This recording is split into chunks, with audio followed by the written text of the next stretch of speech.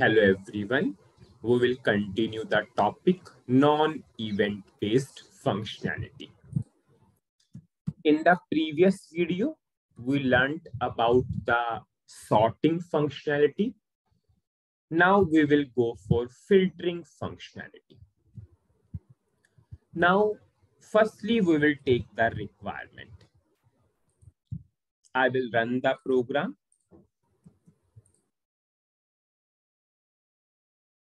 Suppose I will comment the logic for sorting and now we will learn the filtering functionality.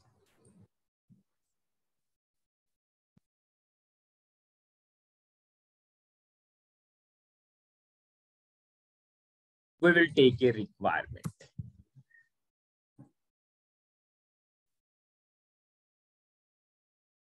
What will be our requirement I want the only those item numbers, or I'll say I only want the item numbers 10 in the output.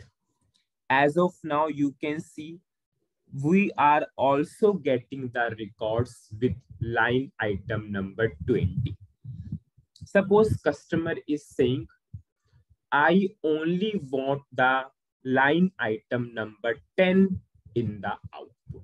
I only want those records where line item number is 10. So with the help of code itself, we can filter the output. Customer will not do any action, will provide the filtering based upon the code itself. So I will go to my program.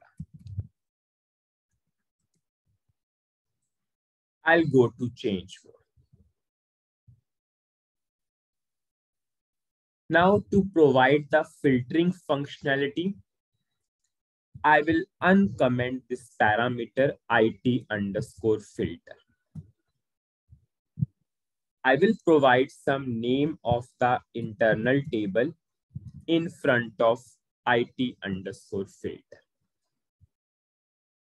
What will be the type of LT underscore filter, it will be same as that of IT filter. We'll see what will be the type of LT filter. I will double click. LT filter is of this type. I will copy this type. And I will declare in my program. Now I will declare LT underscore filter type whatever the type I copied.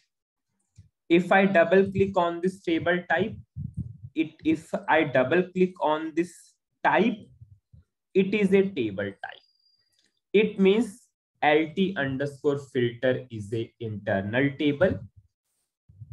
I will declare work area ls underscore filter type.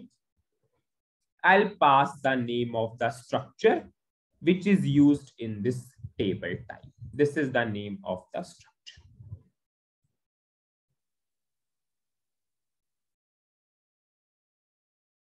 I'll check the syntax and I will activate the program. Now we will fill this internal table to achieve our filtering functionality. Now, what we will do, we will write a code to achieve the filtering functionality. For the best way, I will open the structure in a new session so that it will be easy for us to write the code. I will open the structure in a new session, my filtering structure. Now I will write the code.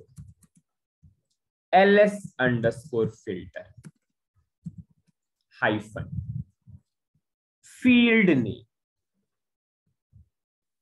We want the sorting. We want the sorting based upon item number. So what is the column name for item number? P-O-S-N-R, POSNR. Now we will fill rest of the details. We will use sign, option, low, high, these four things. Now, firstly, I will use sign. ls underscore filter hyphen sign. We all know sign has always two values, I or E. I means include, E means exclude. We want to include the value item number 10. So I will pass I. ls underscore filter hyphen. Now I will use option. Option.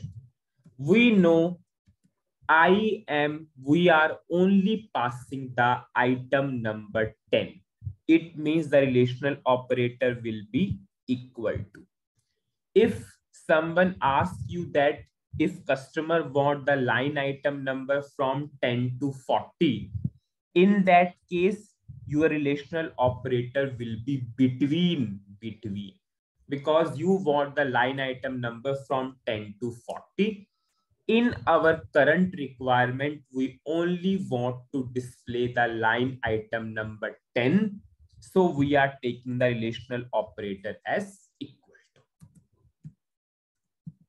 Now we will choose the low. Now, what is the value we want? 10. We want the line item number 10. Now, we will not use high because we are only going for line item number 10. If customer wants a range from 10 to 40, in that case, you have to pass high is equal to 40. So we will append ls underscore filter to lt underscore filter. We appended the record to the internal table LT filter. And this internal table, we are passing it to this particular method, set table for first display. So it will filter the output based upon the item number only 10. We'll see in that debugging mode how it will work. I will put a breakpoint I will pass the input and I will go for execute. I'll go to desktop three. I will just do F6, F6, F6. And you can see in the filter internal table, we have the column name POSNR and our relational operator is equal to sign is include and we are passing the low value as 10 means it will only display those records where item number is 10. Now this internal table, we are passing it to this method. Now whenever I will do execute, you can see we are only only getting the records where line item number is 10. you can pass range also. You can pass, suppose customer wants only those line item number with 10 or 40. You can achieve that also. So this is the way how you can achieve the filtering functionality. But in all these functionalities, customer are not performing any event. Customer is not doing any action. That's why it is called as non-event based functionalities. Thank you very much. That's it in this video. Thank you.